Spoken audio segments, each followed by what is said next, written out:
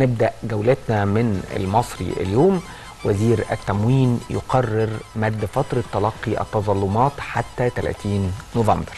أصدر الدكتور علي المصلحي وزير التموين والتجارة الداخلية قرار بمد فترة تلقي التظلمات الخاصة بالبطاقات التموينية حتى 30 نوفمبر 2019 والتي كان من المقرر أن تنتهي أمس الخميس.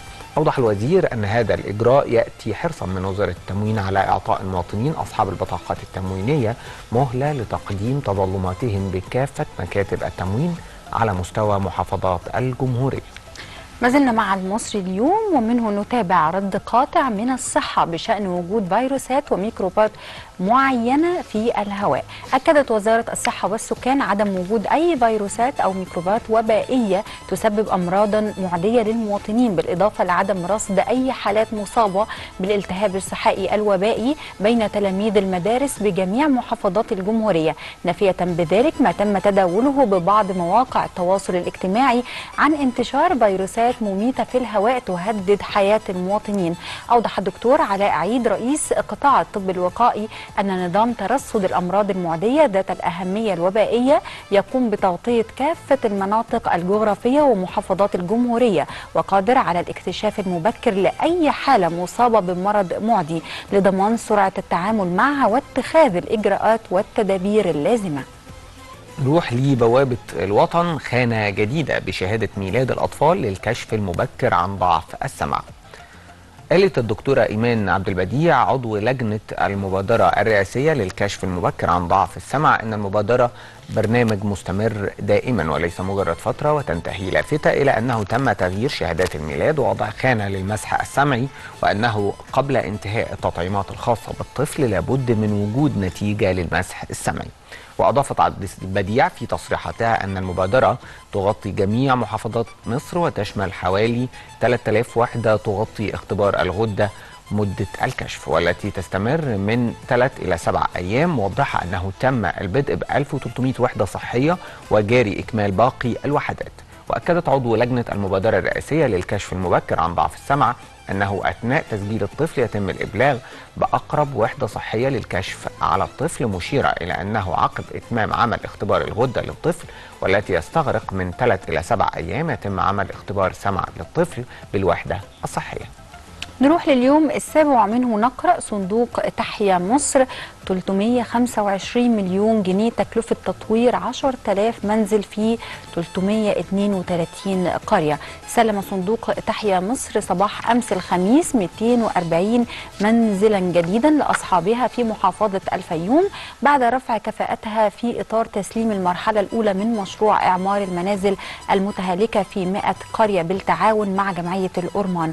جاء ذلك خلال احتفالية نظمها الصندوق بحضور اللواء عصام سعد محافظ الفيوم ومحمود فؤاد نائب مدير عام جمعية الأورمان.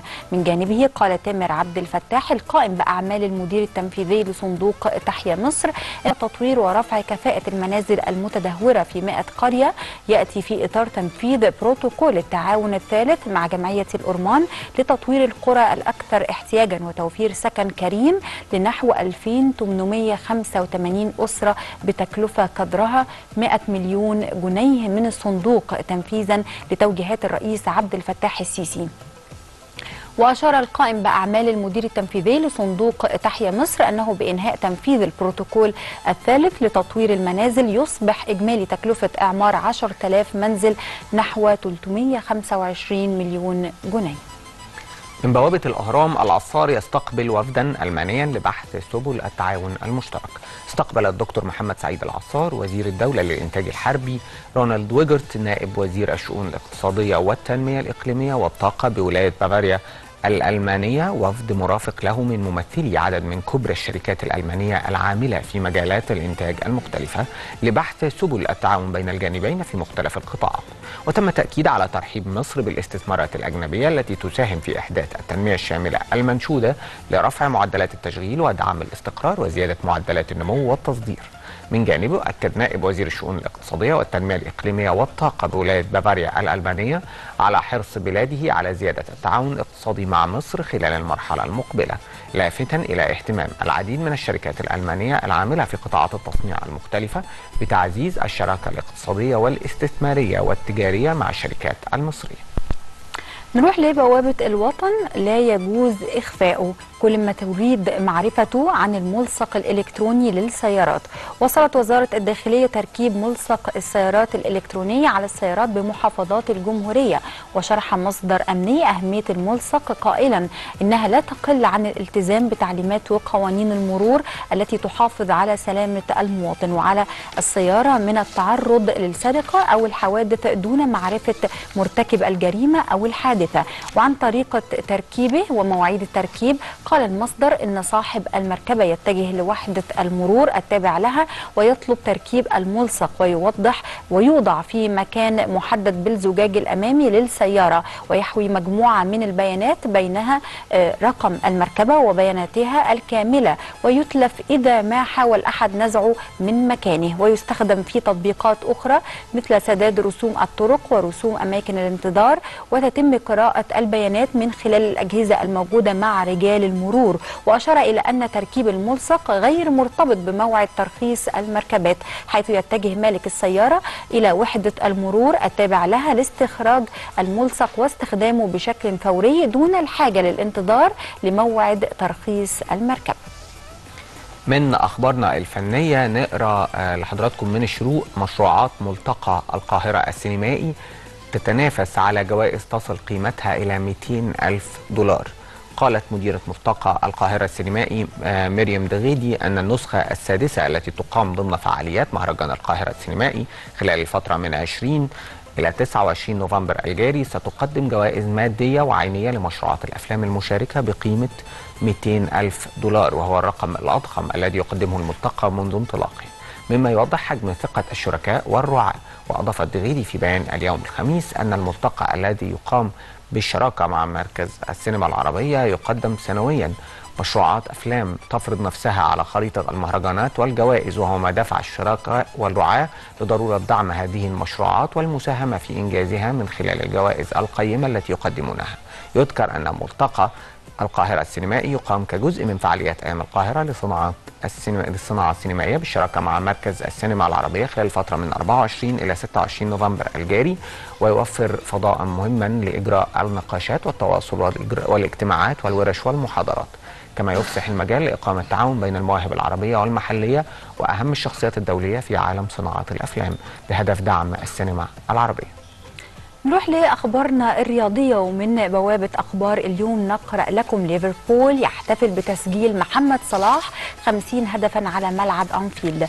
يقول الخبر احتفى فريق ليفربول الإنجليزي بالأهداف الخمسين التي سجلها محمد صلاح هداف الفريق على ملعب أنفيلد. ونشر الموقع الرسمي للنادي الخميس 31 أكتوبر مقطع فيديو لجميع أهداف صلاح الخمسين على ملعب الأنفيلد والتي كان آخرها أمام توتنهام الأحد الماضي الماضي ضمن منافسات الجولة العاشرة من الدوري الإنجليزي الممتاز في المباراة التي انتهت بفوز ليفربول بهدفين مقابل هدف.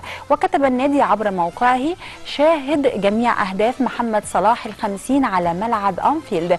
وصل رقم 11 في ليفربول إلى علامة فارقة أخرى من خلال إحراز هدف الفوز في المباراة التي فاز فيها فريقه على توتنهام ليستر 2-1 يوم الأحد الماضي. مضيفا هذا التحول الناجح من ركلة جزاء يمثل هدف صلاح الخمسين في 58 مباراة فقط مع الريدز ننتقل للشأن العربي والدولي ومن سكاي نيوز عربية تظاهرات ليلية كبيرة في بغداد.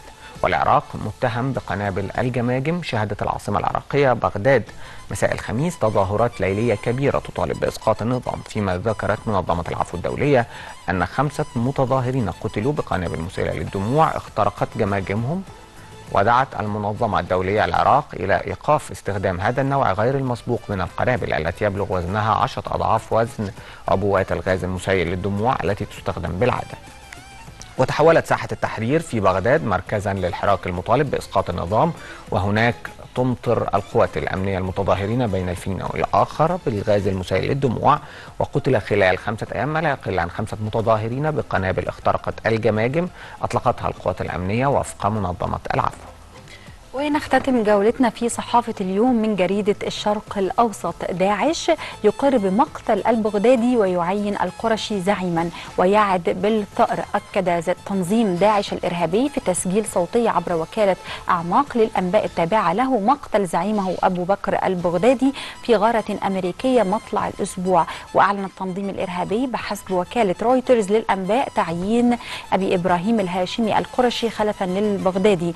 وأكد التنظيم أيضا أيضا مقتل المتحدث باسمه أبو الحسن المهاجر وتعيين أبي حمزة القرشي خلفا له. وكشفت وزارة الدفاع الأمريكية البنتاغون مزيدا من التفاصيل حول الغارة التي أسفرت عن مقتل زعيم داعش. وشمل ذلك مقطع فيديو رفعت السرية عنه. يظهر عناصر من قوات الكوماندوز الأمريكية يدخلون المجمع الذي كان يختبئ فيه البغدادي. وقال قائد القيادة المركزية الأمريكية الجنرال كينيث ماكنزي في مؤتمر صحفي أن قوات الكوماندوز قتلت أربع نساء ورجلا واحدا في العملية بعد أن بدأوا إطلاق النار على طائرة أمريكية كانت تشارك في الهجوم وأضاف أنه تم احتجاز 11 طفلا عثر عليهم في المجمع سالمين. كما أوضح أن طفلين فقط وليس ثلاثة كما قيل سابقا قتل عندما فجر البغدادي القنبلة التي أودت به وأشار إلى أنه لا يعرف سن أي منهما تحديدا لكنه قال إنهما دون 12 عاما. كده تكون انتهت جولتنا في الصحف.